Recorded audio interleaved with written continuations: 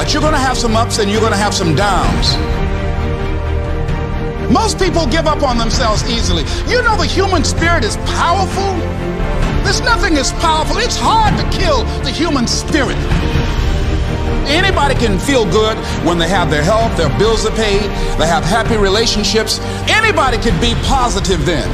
Anybody can have a larger vision then. Anybody can have faith under those kinds of circumstances.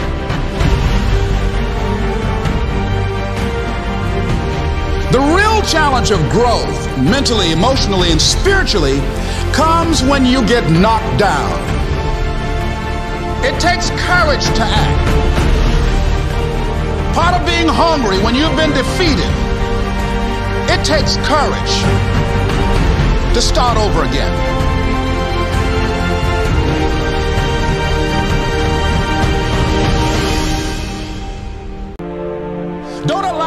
Emotions to control you. We are emotional, but you want to begin to discipline your emotion. If you don't discipline and contain your emotions, they will use you.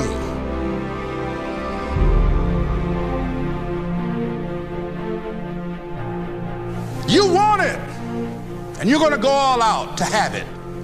It's not going to be easy. When you want to change, it's not easy. If, if it were in fact easy, everybody would do it. But if you're serious, you'll go all out.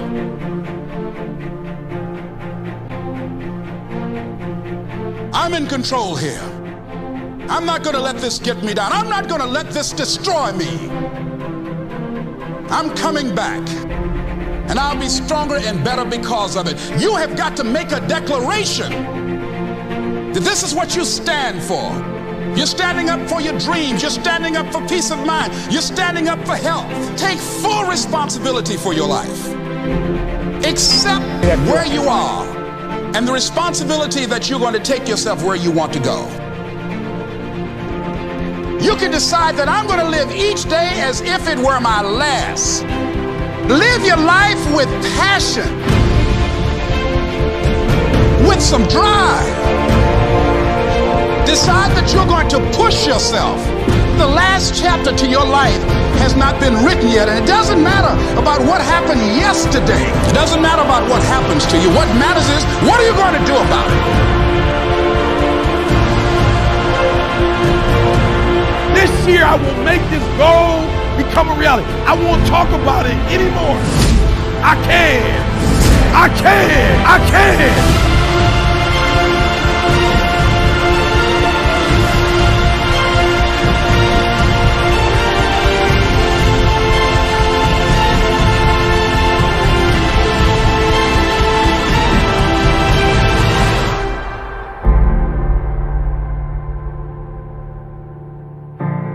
To persevere, I think is important for everybody. Don't give up, don't give in. There's always an answer to everything.